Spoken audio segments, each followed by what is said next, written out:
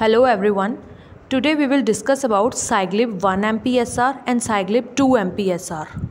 It contains glimepiride 1 or 2 mg plus metformin 500 mg SR plus pioglitazone 15 mg tablets.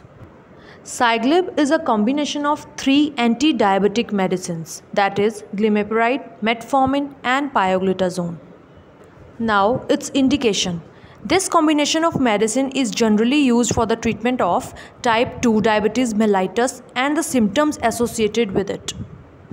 Now, its mechanism of action.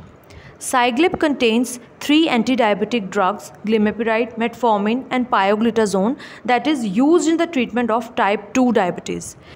Glimepiride is a sulfonyl urea. It stimulates cells in the pancreas that produce insulin which helps to remove sugar from the blood. While metformin is a biguanide. It reduces the sugar production by cells in the liver and delays sugar absorption from the intestines. Pioglitazone is a thiazolidinedione.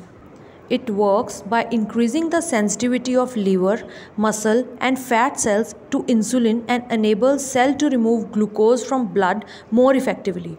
Also, it decreases the amount of glucose produced by the liver and preserves the functioning of beta cells in the pancreas that produces insulin.